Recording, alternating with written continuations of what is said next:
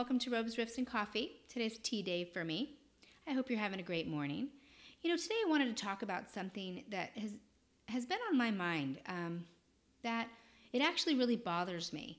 Uh, I, I think that solopreneurs, specifically this grouping of entrepreneurs, think that they don't shouldn't have to spend a lot of money on their business.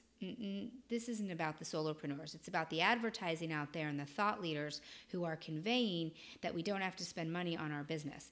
We can spend a little bit here or there, just take this cheap program and, and then you'll have all the answers that you need. And the reality is, is that's not the truth. The truth is, is that even if you have a service-based business and you can get to sales quickly, you're going to spend a lot of money on your business if you do your business right over the long haul.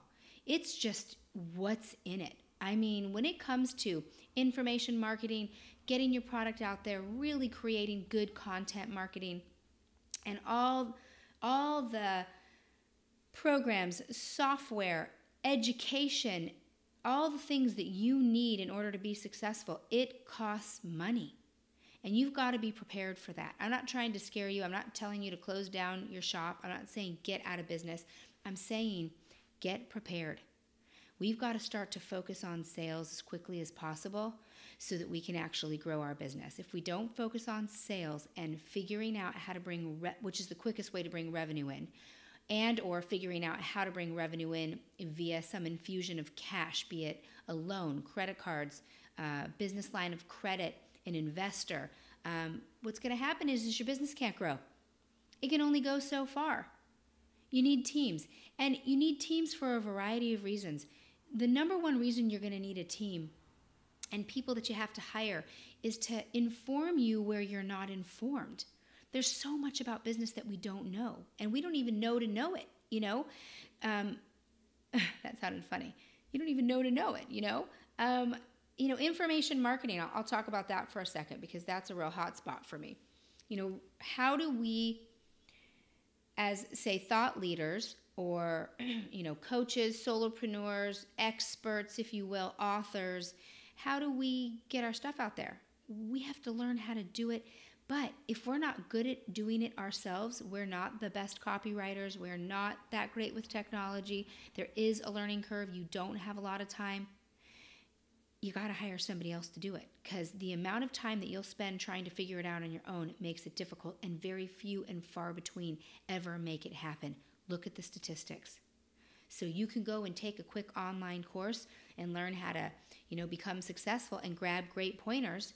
But the reality is is that if you're not taken through that process and you don't have uh, this is why I coach. If you don't have coaches, mentors, I don't care if you're paying for them or they're just well, actually, I do care if you're paying them. You've got to pay them or consultants, whoever it is you're bringing on your team. If you're if you're marketing and you're bringing on marketing consultants, you have to pay them. They're the ones who are going to make up for your liabilities.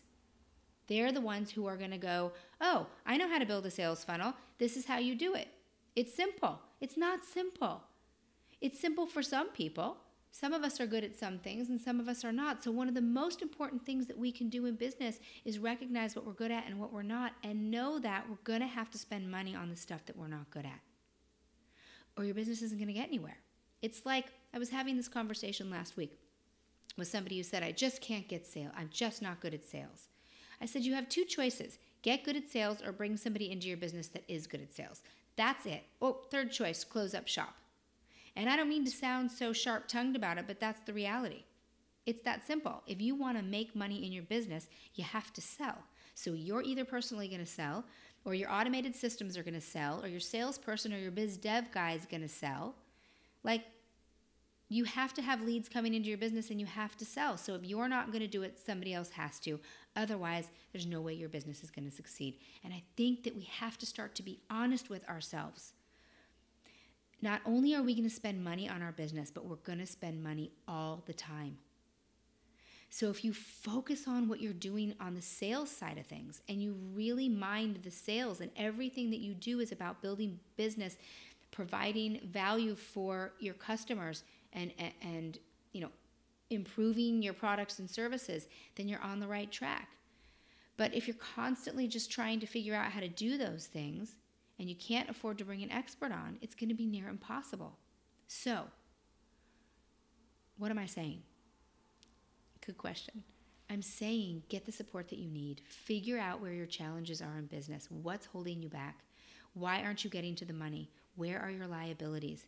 And then figure out what it's going to cost you to buy those assets. And then figure out where you're going to get the money to do it. It's the best investment, investing in yourself.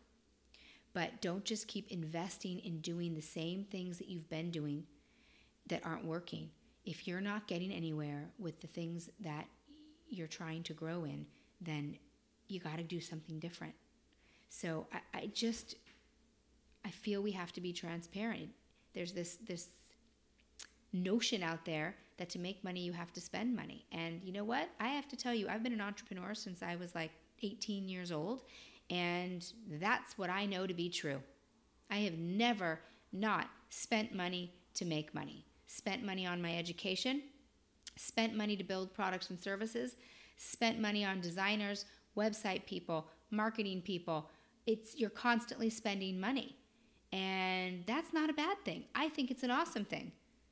You have to be smart about it and not waste your money and mind your checks and balances and understand what's going on with your business and your money and know that the investments that you're making make sense. But there's a lot of risk in entrepreneurship. It's just what's the gamble that you want to take? Some people like a job, it's consistent, it's stable, they know how much money they're in. I don't know that world. For me, I like the world that is riskier.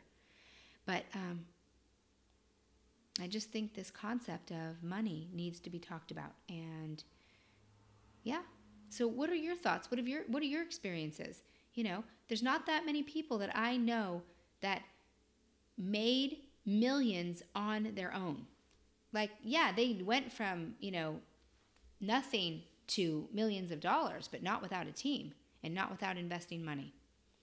So, um, yeah, tell me what your thoughts are. I'd love to hear your experiences. I'd love for you to tell me that I'm totally wrong, but um, I would love that. So, share with me what your thoughts are. Just go ahead and put some comments in down below. Let's keep the conversation going. It's a really important conversation because you're important and I want you to succeed. And we've got to be honest about what it's going to take to get there. So, okay, let's talk soon. Bye.